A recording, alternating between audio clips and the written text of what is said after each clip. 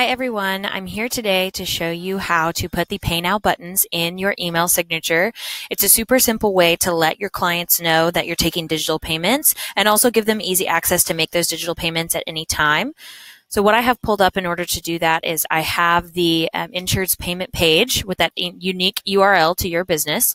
I also have my email pulled up and this is going to look a little different if you use Outlook or another email platform, but today I'm going to show you on Gmail. And then I have the ePayPolicy website. So on our home page, you're just going to navigate to the bottom of the page. When you get there, you'll see an option for the Pay Now buttons page. Go ahead and click that link.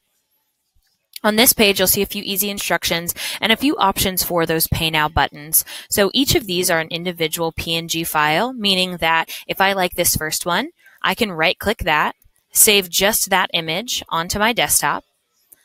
And now I'm going to navigate back to my email head into settings so that I can change that email signature.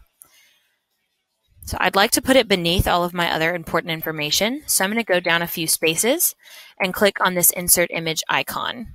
From there, select upload and either that, um, that image that you've just downloaded can be drag and dropped right in there, or you can go into your computer and find that file. So now that it's uploaded, I'm going to highlight that and click add a link. This is why you need that unique URL pulled up. I'm going to copy and paste that URL right into my email signature scroll down, save changes.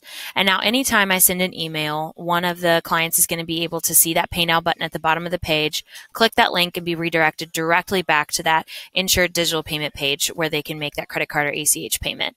Again, we highly suggest um, letting your clients know in other ways, whether that's through email, social, um, sending some mail, some physical mail, just to let them know that you are now taking those digital payments. But this is a really easy way to make sure they have a consistent um, way to get to that payment page. If you have any other questions, feel free to reach out to our team at any time, and I appreciate you taking the time to watch this video.